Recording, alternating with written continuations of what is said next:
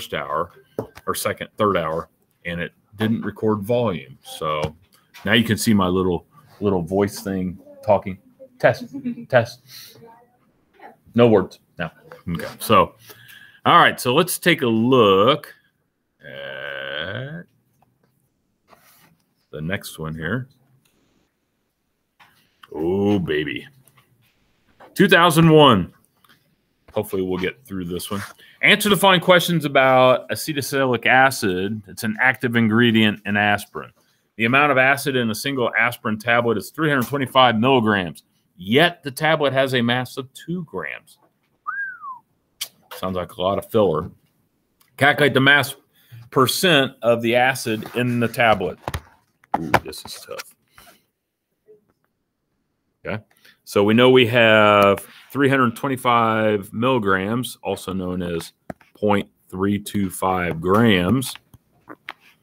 And it's in what size? Two? Okay, yeah. Thank you. I thought it was two. Like, two grams times 100 equals something. I hope. 16 and a quarter. We'll say 16.3. That was a that's a tough point, guys. All right.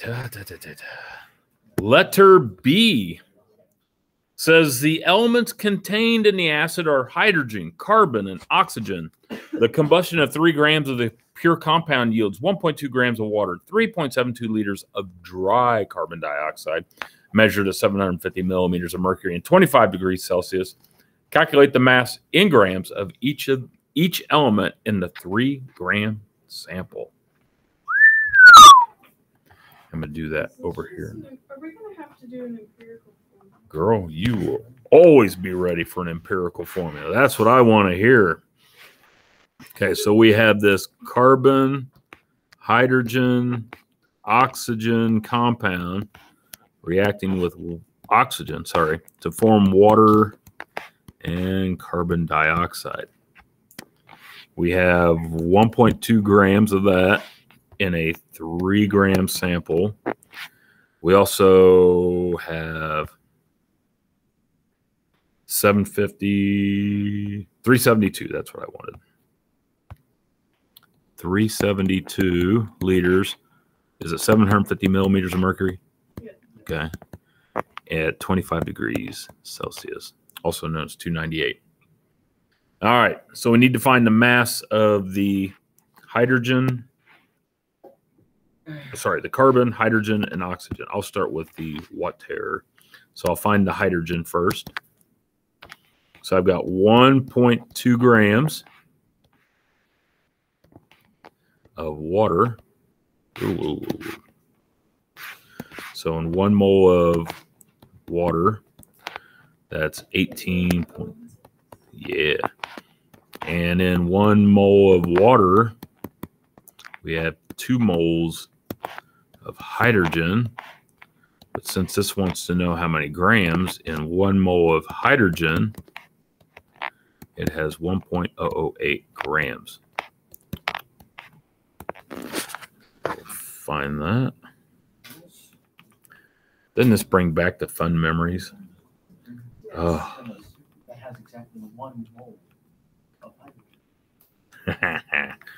So point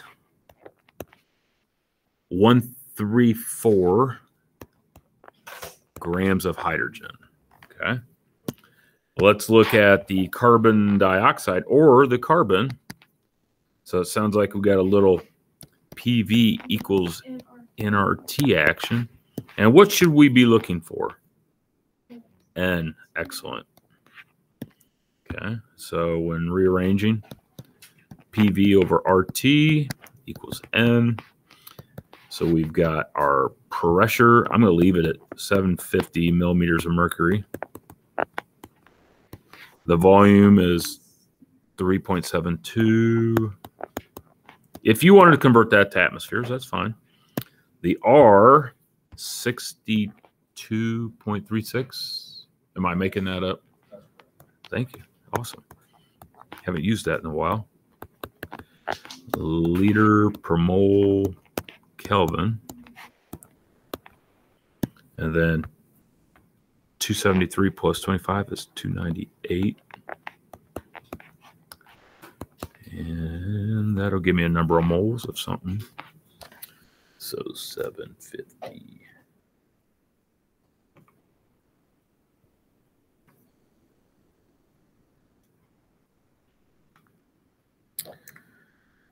Point one five zero ish. Okay.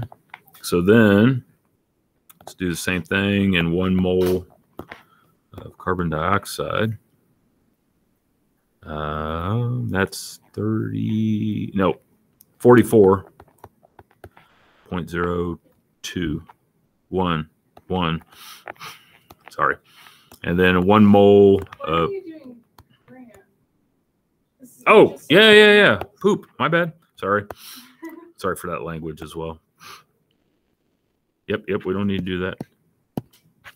So in one mole of carbon dioxide, we have one mole of carbon. One mole of carbon is 12.01.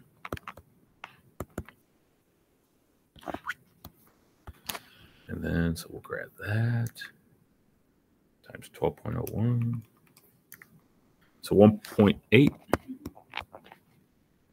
zero. And then, ooh, how do we find the the dreaded oxygen? Have the other two details. That's facts. So it's three grams of the whole kick of caboodle minus the point one three four grams plus what we just found, the one point eight. Bless you. So point three oh oh oh no. 3.0, my bad. Minus that plus that.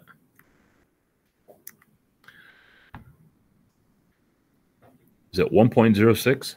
I do that right? 1.06. Grams of oxygen. All right. We got our. Hmm? And I think that's all it wanted. Calculate them. 1.06 is six. Okay. Okay. All right. Yeah, we're not going to argue that. All right. A student, part C. Yeah, we got time. Part C, a student dissolved 1.625 grams of pure acid in distilled water and titrated the resulting solution to the equivalence point using 88.43 milliliters of a 0.102 molar so man, that is odd. Sodium hydroxide. Assuming that the acid has only one ionizable hydrogen, in other words, it's monoprotic, calculate the molar mass of the acid. Let's go. Oh, baby. A pure. Ooh, I didn't see that. Thank God that word's there. What does that mean? Nothing but the acid. So when I have 1.625 grams of it, it's not 16.3%. It's the whole kick of caboodle. This is like a this is another gift from the chemistry gods. Holy moly. That's facts. So part C, we have wow, those are some weird numbers. Mm-hmm. 88.43. 80 right for me. 88.43 milliliters. One liter of a blah, blah, blah, blah, blah, point point one oh two molar solution of sodium hydroxide. That's some weird numbers. 88.43 times 0.102 divided by a thousand. So point zero zero nine oh two or whatever my calculator says. Yeah, there's more to it behind that. All right, so that is moles, correct? How in the world could we ever possibly find the molar mass of the acid. We have, this is how many moles is in that. Yep. So at the equivalence point, the moles of the acid are equal to the moles of the base. So molar mass, what are the units for molar mass again? So molar mass is grams per mole. Do we not have the moles already? Do we have the gram amount? Yeah, we do. Right there. So one point one point six two five grams in the point zero zero nine oh two or whatever my calculator says. So one point six two five divided by grab it. One hundred and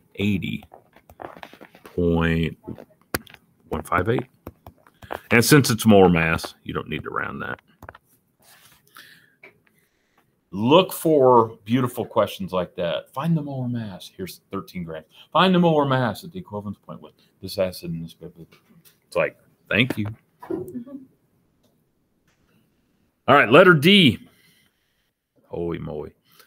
Uh, a two times 10 to the negative three mole sample of the acid was dissolved in 15 milliliters of water and then titrated with a 0.1 molar NaOH. The equivalence point was reached after 20 milliliters of sodium hydroxide had been adding, added. Using the data from the titration, using the data from the titration shown in the table below, determine. Ah, okay. So let's see here. We're looking for something here. Uh, I, the value of the acid dissociation constant for the for the acid. So we have that mole amount. We have 15 mils of water. Then we have that. So it looks like they're wanting us to get a molarity. So that pure thing there. And then the equivalence point was reached here 20 mils.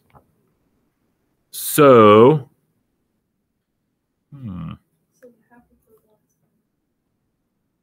the half equivalence would be at 10. Yeah, there you go. So you got your 20 mils there. So at 20, then here is our half equivalence. So what do we do there? Correct. So remember that at the half equivalence point, half equivalence point, pH of the acid is equal to the pKa value of the acid. And since we have 3.4, take the anti-log of the negative 3.44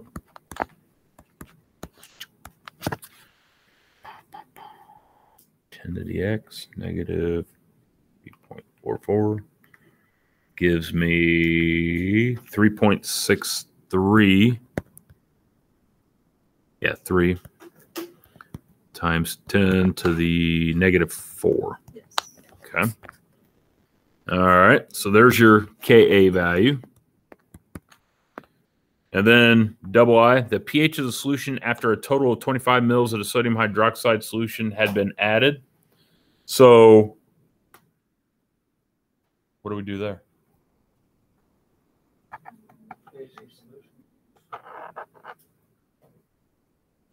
This is kind of a dirty question.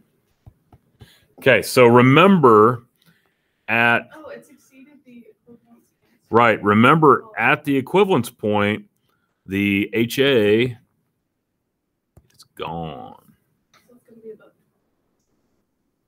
well, it's going to be definitely above 8.13 for sure. Okay.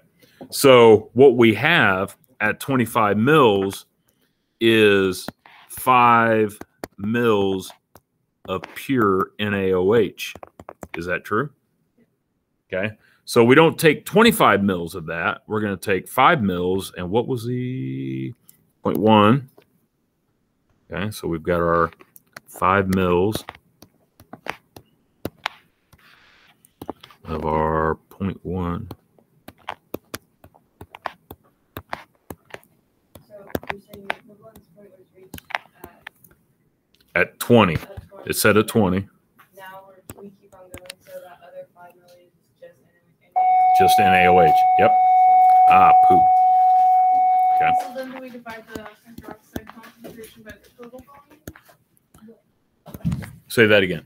Should we divide the hydroxide concentration? By the total volume? So we have 25 plus, minus 15, yeah, 15. so yep, I like that. 40 mils. And then you can find out that's the hydroxide concentration. Here, let's do that.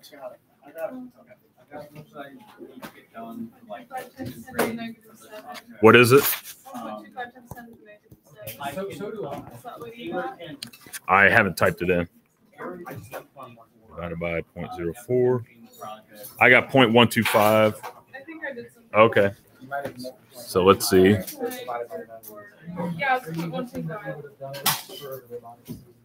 So 0.125, that's hydroxide.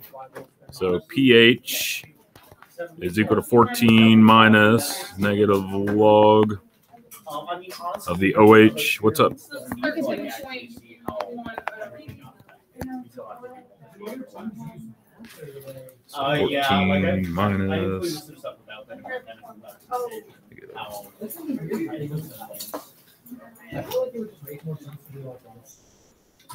Well, 13. essentially what they I did. Dang it, right. The questions today, I'm definitely not having as many issues with, Nice. so that's good. I don't know what was going on yesterday. What's up? Um, I just wanna ask if I missed a couple days, the past few days. Um, can I work on my review or take the quiz? Can I take the quiz tomorrow? Yes, but you have to take it tomorrow.